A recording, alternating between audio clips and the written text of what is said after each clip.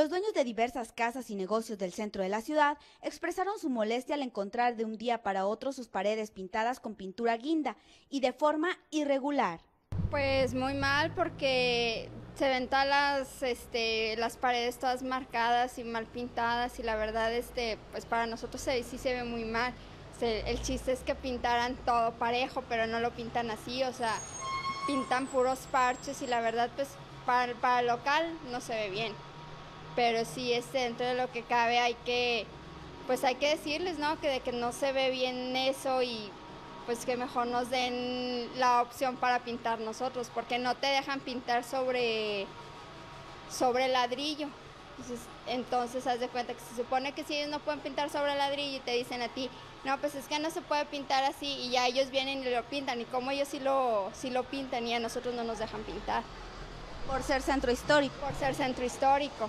Entonces se supone, digo, porque hace poco nos vinieron a dejar un aviso de, de que decía de que no podías pintar de ciertos colores o colores fuertes porque es centro histórico, pero entonces ¿por qué ellos sí pintan así si no, si se supone que no debe de pintar así?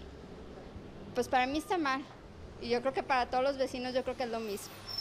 No, desde luego que no, deberían haber avisado para poder tomar cartas en el asunto y pintar nosotros, ¿verdad? ¿Cómo se ve eso? Pues se ve mal en todos lados porque todas las paredes están rayadas.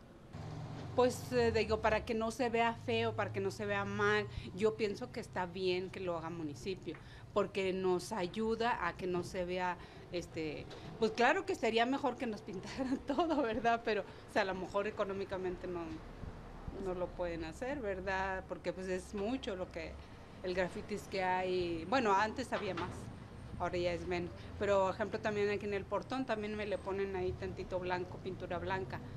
Entonces, este, a lo mejor el municipio, pues me parece que está bien que haga eso.